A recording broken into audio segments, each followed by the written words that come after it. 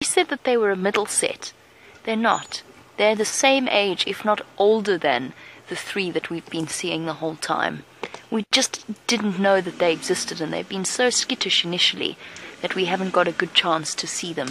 But to me, they are. There we go, hello. To me, they're actually bigger than the triplets that we thought were the ones that were born first. If not, it is very, very close in terms of age. They're playing peekaboo with us. Look at them! The two cubs that we've hardly ever seen. Oh, come on, Amber Eyes. You can't be cross with two little cubs. Oh, they're so gorgeous. Hi, you two. Hmm. come say, come visit the carcass. Come see what's happening here with your cousins. And we finally managed to get ourselves some signal. We found ourselves in the perfect spot. And what absolutely a magical way to finish off our sunrise safari. Little cubs suckling on one side, full lionesses, Amber Eyes feeding away, sharing her personal space with two cubs that have their heads inside the buffalo jaw. Mm. How's that for an absolutely incredible image? And they're growling at each other.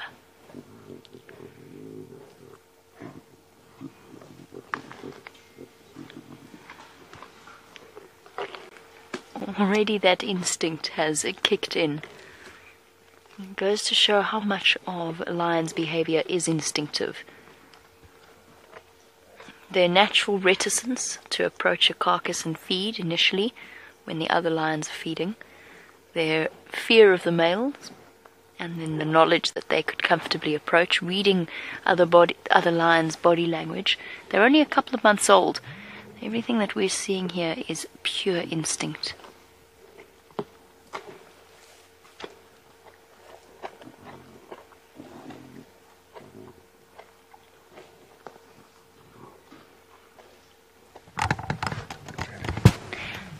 Sorry, guys.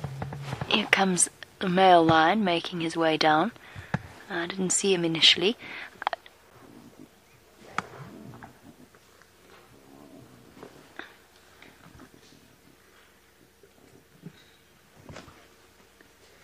He is stopping to relieve himself, and I'm trying to listen to the Game Drive channel again. I am so sorry.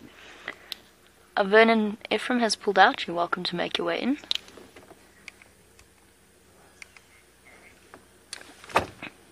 Thank you for your space.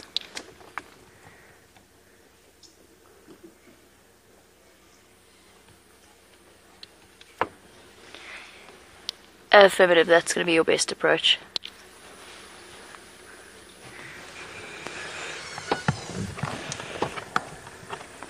Sorry guys, just chatting to Vernon on the Game Drive channel to let him know what his best approach is going to be. There's one little cub that's worrying me ever so slightly. And I'd noticed earlier that it was quite sleepy when we first got here. The little cub that's lying with the rest of the females, she, I think it's a she, not 100% sure, but does have a nasty limp. I don't know what kind of injury has been inflicted. Oh, here comes Amber Eyes. And the male looking at the male. Standing by.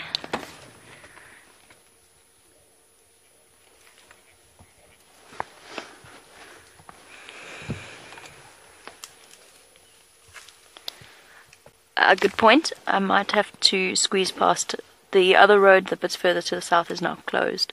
So I might have to come back the way I came in. Uh, but you're welcome to pop in and then I will make a plan on the way out. Oh, Copy that, thank you. Sorry guys, it's a really tricky position to be in and being able to navigate around here is very, very difficult see how alert the lionesses are.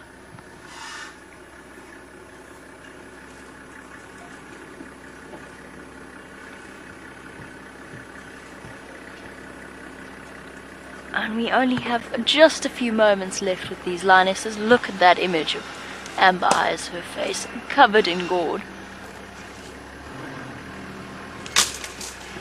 And unfortunately, we are running out of time to spend with these amazing lions, but I'm glad that we got to bring you back into this sighting once again. Just to spend as much time as possible with these amazing little creatures. And their mothers, of course, who were responsible for the meal that they have provided. And so we're coming to the end of our sunrise safari, and we have to say a very big thank you to Jeandre for his fantastic camera work. We're going to not take you away or draw your eye away from this amazing scene. So a big thank you to Jeandre for his fantastic camera work, as well as to Rebecca and Chelsea in Final Control. Now I am also saying my goodbyes on behalf of Brent, so a big thank you to Dave as well. And from both of us, the biggest thank you goes to all of you watching this live safari every day, twice a day. Hope you have had an amazing time and you're enjoying these closing images. We will be back here for the start of the sunset safari.